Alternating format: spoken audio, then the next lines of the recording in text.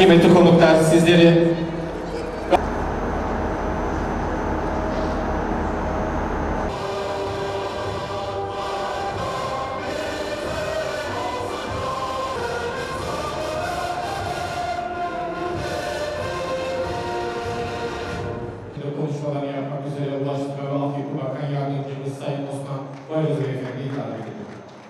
Sizlerin de bildiği gibi demir yolları güvenli, ekonomik ve hızlı oluşunun yanı sıra yenilenen ulaşım altyapısını sağladığı konforlu ulaşımın vazgeçilmez bir parçasıdır. Demir yollarımız ülkemizin ekonomik ve sosyal hayatının ötesinde tarihi ve stratejik bir öneme sahiptir. Ülkemizin uluslararası ticaretten aldığı payı artırmak ve ticari avantajları elde etmek için demir yollarının kalkınmasına öncelik verdik. Bu vesileyle son 22 yılda demir yollarında 57 milyar dolarlık yatırım sağladık. 2002 yılında 10.948 kilometre olan demir yolu ağımızı bugün 13.919 kilometreye ulaştırdık. 2251 kilometre hızlı tren ağını inşa ederek ülkemizi yüksek hızlı tren işletmeciliğine tanıştırdık. Trenler sadece geçtiği bölgelerde yalnızca ulaşımı kolaylaştırmakla kalmaz, aynı zamanda Türkiye'nin tarihi ve doğal güzelliklerini birbirine bağlayarak yolcularını kültürler arası yolculuğa çıkararak bölgede turizmin ve ekonominin kalkınmasına katkı sağlar. Birazdan ilk seferine uğurlayacağımız tarihi turistik Tatvan treni de geçtiği güzergahta bu minvalde katkılar sağlayacaktır. Konuşmalarını yapmak üzere Kültür ve Turizm Bakan Yardımcımız Sayın Nadir Alparslan Beyefendi'yi kürsüye davet ediyorum. Biliyorsunuz cennet vatanımız birçok özelliğiyle önde ama aynı zamanda kültür, tarih, bir turizm açısından da dünyanın en önemli merkezlerinden bir tanesi. Biz de Kültür Turizm Bakanlığı olarak turizmde dünyanın en etkili, en etkili 5 ülkesinden birisi konumuna gelmiş durumdayız.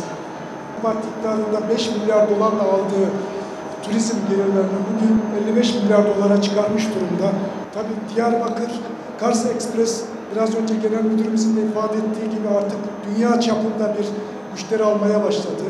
Bundan hareketle biz bakanlık olarak Ulaştırma Bakanlığı ile beraber Diyarbakır gibi, Tatvan gibi, Çankırı gibi, Karayelmas'la Safranbolu, Zonguldak gibi ürünleri çeşitlendirerek hem iç turizmde hem de dış turizmde bunun çok önemli bir e, turizm zenginliği olması konusunda dev adımlar atılmakta.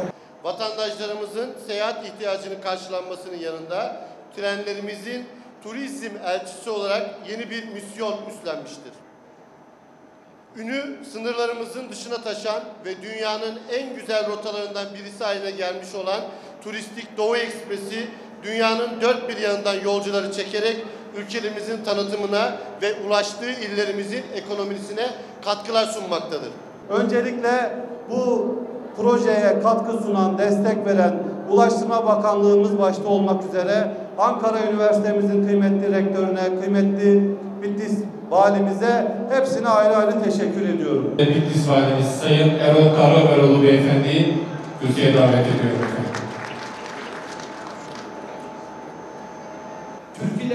Manilere konu olmuş beş minaresi, zamanın üniversitesi konumunda olan ilim merkezi İhlasiye Medresi, hanları, hamamları, kümbetleri, kısacası doğa turizminin, deniz turizminin, gastronominin, tarihin, kültürün en seçkin örnekleri sizleri beklemektedir.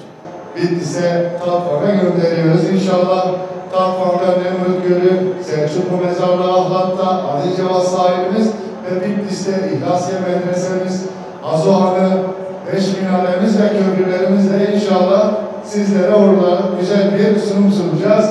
Ve ben burada emeği geçen tüm e, katkılarından dolayı tüm arkadaşlara, bakanlarıma, bakan yardımcılarıma teşekkür ediyorum. Öğrencilerimiz de çok heyecanlı. İnşallah başkentin havasını Bitlis'e götürecekler. Buradaki gastronomi birikimlerini oraya götürecekler. Oradan yeni birikimlerle ve Bitlis'in güzel havasını Ankara'ya getirecekler. Değerli yolcularımız, değerli gençlerimiz çok güzel bir yere gidiyorsunuz. Kadim şehir Bitlis'e gidiyorsunuz. Türkiye'nin en uç noktalarına gideceksiniz, göreceksiniz ve oradaki güzellikleri mutlaka büyük şehirlere geldiklerinizde gönül elçileri olarak anlatacaksınız. Sayın Genel Başkanım eğer arzu ederseniz yolcularımızı hemen en azından... Başkasına. Biz bıraktık odaya zaten. Bırakıyoruz odaya. Sayın hocam buraları çok dar çekemedim size. Başa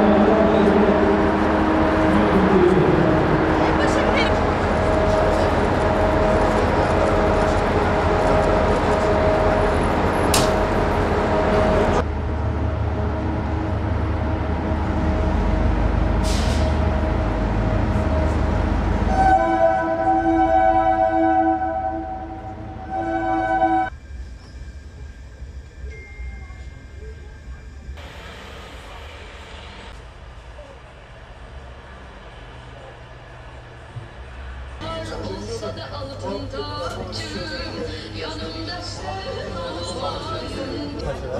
Bura mesela diş hekimliği var, avukatlık büroları var. Yok. Ben mi yanlış oluyorum?